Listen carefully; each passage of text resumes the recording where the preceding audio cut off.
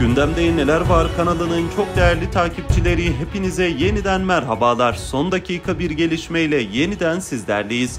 Değerli takipçilerimiz Türkiye'den Amerika için kritik hamle geldi.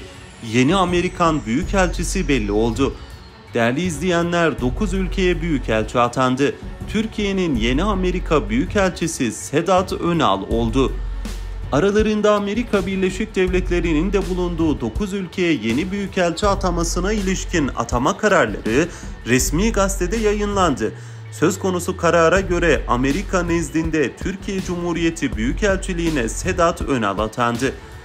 Değerli izleyenler, Cumhurbaşkanımız Recep Tayyip Erdoğan'ın imzasıyla yayınlanan atama kararları resmi gazetede yayınlandı.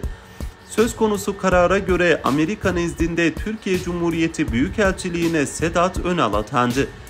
Gine Cumhuriyeti Büyükelçiliğine Güney ve Batı Avrupa Genel Müdür Yardımcısı Rifat Cem Örnekol, Şili Cumhuriyeti Büyükelçiliğine Ahmet İhsan Kızıltan, Vietnam Sosyalist Cumhuriyeti'ne Büyükelçiliğine Doğu Asya Genel Müdür Yardımcısı Korhan Kemik, Guatemala Cumhuriyeti Büyükelçiliğine Enformasyon Genel Müdür Yardımcısı Beliz Celasin Rende, Bulgaristan Cumhuriyeti Büyükelçiliğine Uluslararası Hukuk İçtihatları Genel Müdür Yardımcısı Mehmet Sahik Uyanık, Koska Rika Cumhuriyeti Büyükelçiliğine Naciye Gökçen Kaya, Sri Lanka Demokratik Sosyalist Cumhuriyeti Büyükelçiliğine Semih Lütfü Turgut, Ekvator Ginesi Cumhuriyeti Büyükelçiliğine Dışişleri Bakanlığı Teftiş Kurulu üyesi Ahmet Ergin atandı.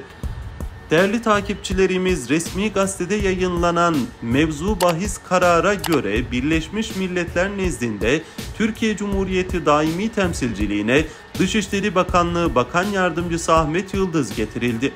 Atama kararları 3 sayılı Cumhurbaşkanlığı kararnamesinin 2, 3. ve 4. maddeleri gereğince yapıldı.